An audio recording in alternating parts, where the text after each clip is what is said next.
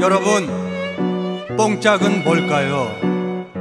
저는 이런 표현을 한번 빌려봅니다. 한국인의 영혼이다. 한국인의 소울이다. 오늘도 직장 생활에, 육아에, 학업에, 오늘 하루도 대단히 고생 많으셨습니다.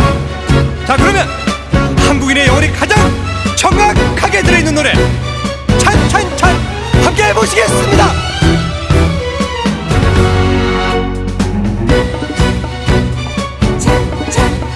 차디찬 그라스에 빨간 립스틱 음악에 묻혀 굳어버린 방 깊은 카페의 여인 가녀린 어깨 위로 슬픔이 연기처럼 피어오를 때 사랑을 느끼면서 다가서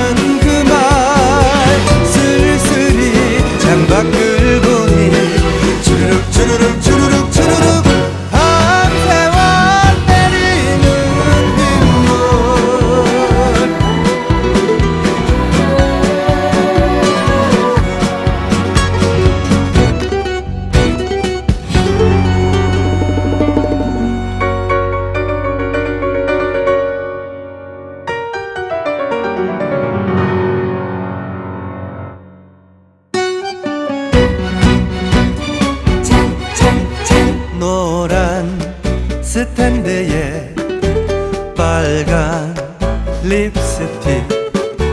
그 누굴 찾아? 여길 왔나? 방 깊은 카페의 여인. 가녀린 어깨 위로 슬픔